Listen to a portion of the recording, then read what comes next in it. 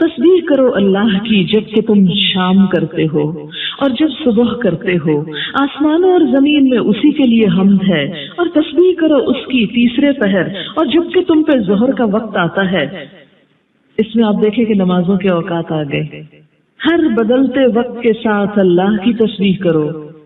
लेकिन हमारा क्या हाल है? सुबह के वक्त सो जाते हैं। हज़रत अब्दुल्ला बिन अब्बास ने दिन के सोने खसूस चाश के वक्त सोने को नापसंद करार दिया कि जब सूरज अंदर बाहर हो तो नहीं सोना चाहिए सुबह के वक्त। अपने बेटे को खास तौर पर उससे बचने की ताकीद करते और कहा करते थे कि दोपहर के सिवा दिन के किसी हिस्से में सोना नहीं चाहिए। नबी सल्लल्लाहु अलैहि वसल्लम कभी कभी दिन को istirahat फरमाते, जिसके लिए कैलूला का लफ्ज आया है। लेकिन कैलूला दोपहर का खाना खा के लंबी नींद सोने का नाम नहीं। खाना खाएँ या ना खाएँ, थोड़ी देर के लिए ज़रूर आँखें बंद करके आराम करें, क्योंकि वो दिन के बाकी हिस्से को ज़्यादा बेहतर काम करने का सबब बनता है। आपने खाना खाकर फ़ौरन सोने से मना किया है, क्योंकि ये दिल में सख्ती पैदा करता है। अच्छा रिसेंटली मुझे किसी ने बताया वो ये कि अगर खाना खाते ही इंसान सो जाए तो दिल की बीमारी भी पैदा होती है। फिजिकली भी दिल की बीमारी का अंदेशा है। और नबी सल्लल्लाहु अलैहि वसल्लम ने रूहानी तौर पर भी दिल की सख्त होने की बात फरमाई है।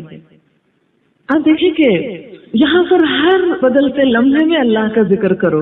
नमाजों के औकात आप देखिए, सूर्य निकलने से पहले के वक्त में नमाज़ पढ़ो, फिर एक सूर्य निकल आता है और आप देखिए कि दोपहर तक खूब पीक पे पहुँच जाता है, फिर ढले नमाज़ पढ़ो।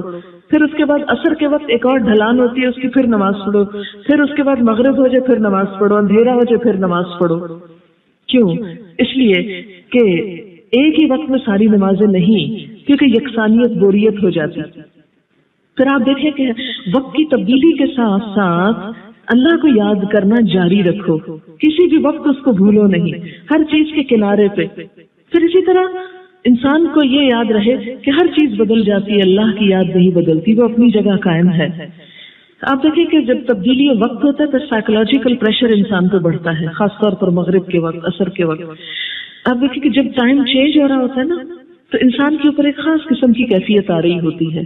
तो उस वक्त में क्या कर, जब वो तब्दीली आ रही हो तो अल्लाह की इबादत में मशगूल हो जाओ, ताकि ना बोरियत हो, ना डिप्रेशन हो।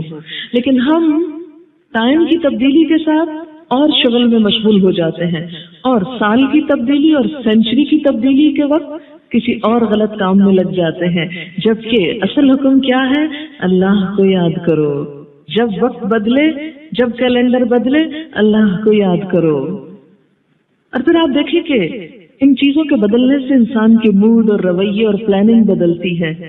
तो जब कोई भी काम अल्लाह की याद में किया जाता है, औकात के बदलने के साथ तो इंसान ज़्यादा एनर्जेटिक महसूस करता है।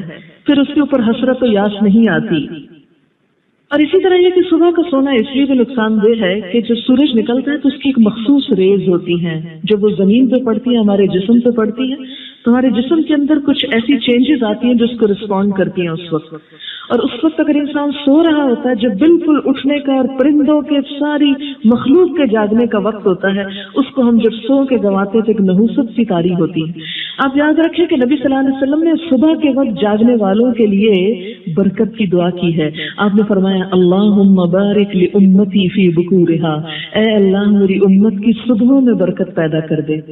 तो अपने औकात इस तरह रखिए सोने के कि जिसमें सुबह का वक्त आपके अच्छे अच्छे कामों की नज़र हो अच्छे अच्छे काम करें। अब बहुत से लोग कोर्स करना चाहते हैं, लेकिन सुबह की नींद के हाथों परेशान है कि उठ नहीं सकेंगे तो आएँगे कैसे?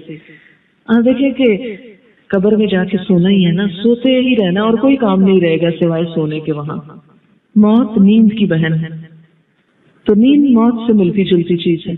अगर नींद बहुत प्यारी हो तो मैं अपने आप को हमेशा यही कहती हूँ कि मर के तो सोना ही सोना है ना, यही तो काम का वक्त दिया गया है। अभी तो उठ सकती हूँ, उस वक्त तो उठ भी नहीं सकूँगी, इसलिए चलो उठो, कुछ कर लो। छोड़ो सोना, कुछ कर लो, क्योंकि ये करने का वक्त है, ये खत्म हो गया तो कुछ ना कर सकेंगे। और फिर आप देखिए कि अगर अल्लाह के लिए सिर्फ़ एक साल आप ना सोए और दिल की ना माने तो कोई बड़ा नुकसान नहीं। आप देखेंगे कि आपकी सेहत, आपकी मसरूफियत, आपका सब कुछ बदल जाएगा और ज़्यादा बेहतर खुशी महसूस करेंगे। अब सो के वक्ती तौर पे नफ्स की ख्वाहिश तो पूरी हो जाती है, लेकिन उसके बाद जो डिप्रेशन आता है और जो फ़िक्र और गम आते हैं, वो इंसान फेस नहीं कर सकता। उसके नतीजे में कमज़ोर से कमज़ोर होता चला जाता है। और फिर उसका इलाज हम ट्रैंकलाइजर्स में ढूंढते हैं, जो इलाज नहीं है।